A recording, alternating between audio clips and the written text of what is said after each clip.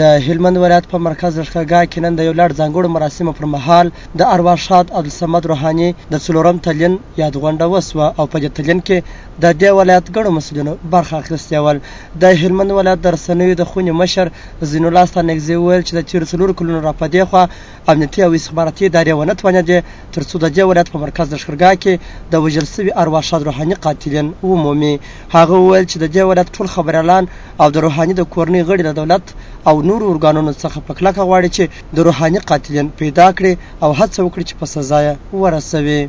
بل خوا ته د دې ولایت د والي ویاند داوود احمدي او د دې ولایت د ملي امنیت مرستیال رییس او نورو په خپلو خبرو کې وویل چې د هغه د قاتلینو پلټنې تر اوسه هم دوام لري او ویې ویل چې ارواښاد روحاني په دې ولایت کې د نشي توکو د قاچاقبرانو له لوري وژل شوی دی. د دې سره هممهاله د ارواښاد روحاني پلار او د هغه ورور په خپلو خبرو کې وویل چې د هلمند ولایت چارواکي، مرکزي دولت او د بي بي سي راډیو مسؤلینو د روحاني پر موضوع هیڅ کار نه دی کړی او نه یې هم په دې تړاو پلټنې کړې دي. هغوی وویل چې په دې تړاو دې کوټلي ګامونه پورته شي او هڅه دې وشي ترڅو د روحاني قاتلین پیدا او د قانون منګولو ته یې وسپاري. لندن بي بي سي چي دی د زموږ سره ظلم وکړي چي دی تعقیب ونه کړي د دې معلومات یې قطعا ونه کړي چي چا مړ کړي چا څنګه شو نو روحاني یو داسې شخص و صاحب چې د موږ په د خپل پشت څخه موږ د چا سره نه دغه درلود چې موږ مو د یو قاتل مو درلود یا مو دشمن درلود دا دشمن دلته په ولایت کې ورته پیدا شو د په شهادت ورساو د هلمند د امنیتي چارو چارواکو څخه او د کشفي ارګانو څخه زه ډېره سخته ګیله جنې لرم چې تر دا مهاله پورې یو څه د رسنۍ په واک کې نه دي ورکړي تر دا اوسه پورې او ما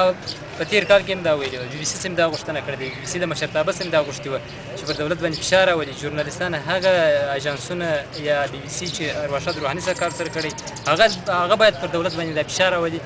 او چې د ارواښاد شهید روحاني صاحب قاتلین پیدا کړي. په همدې حال کې د هلمند ولایت خبریالانو د ارواښاد روحاني د څلورم تلین په یاد غونډه کې وویل چې د هلمند ولایت د خلکو لپاره یې کار کړی دی او هڅه یې کړې ده ترڅو د خلکو غږ تر اړوند مسؤلینو پورې ورسوي هغوی وویل چې په هلمند ولایت کې د خلکو لپاره کار کړی ولې وایي چې هغه کسان کوم چې په دې ولایت کې شخصي ګټې خبریالانو په خطر کې اچولې اوس خبریالان سانسور یادوي دا په داسې حال کې چې د ارواښاد روحاني د مړینې یاد غونډه هر کال د دې ولایت د خبریالانو له لوري په ځانګړو مراسمو سره کیږي المنان ارغند خبریال ډاټ کام کندهار